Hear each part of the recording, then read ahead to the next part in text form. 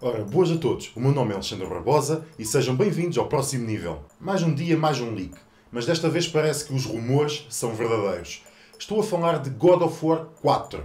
Normalmente um leak é composto por uma ou duas imagens colocadas na internet por uma pessoa da qual nunca ouvimos falar. No entanto, desta vez, temos uma galeria completa de imagens. Estamos a falar de imensas imagens. Muitas. É verdade que no passado recente o Estúdio Santa Mónica tem vindo a passar por várias fases de teste para encontrar o seu próximo projeto. No entanto, esperamos ver um anúncio oficial durante a E3. Afinal, será a altura perfeita, uma vez que por essa altura Uncharted 4 já estará nas lojas e a Sony precisará certamente de um novo chamariz. Pelo que podemos ver das imagens mostradas, vemos que em algumas aparece uma silhueta bastante parecida a Kratos, no entanto, e tendo em conta o fim ambíguo de God of War 3, isso não me admirava. Mas vamos lá ver bem as coisas. Kratos tinha motivos para além do matar os deuses.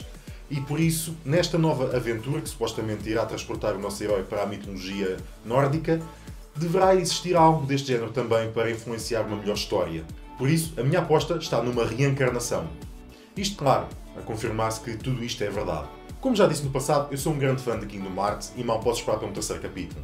No entanto, Nomura continua a lançar pequenos jogos que vão completando a história, sem realmente avançar com ela. Desta vez, e através de Kingdom Hearts Unchained Cross, vamos diretamente ao início da história, ainda antes das Keyblade Wars. Aqui a novidade não está no jogo, mas sim na sua data de lançamento para a América. É já daqui a dois dias, dia 7 de Abril. E isto são boas notícias para nós, uma vez que um lançamento americano poderá querer dizer que a Europa não está assim tão longe. E estes foram os nossos destaques para hoje. Se gostaram, façam like, subscrevam o canal e sigam-nos em próximonível.pt para mais notícias e análises de jogos, séries de televisão, cinema, anime, TCG e muito mais. Por isso, vemo-nos no próximo nível, pessoal!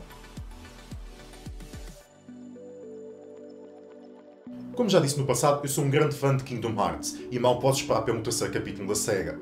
Da SEGA. da SEGA.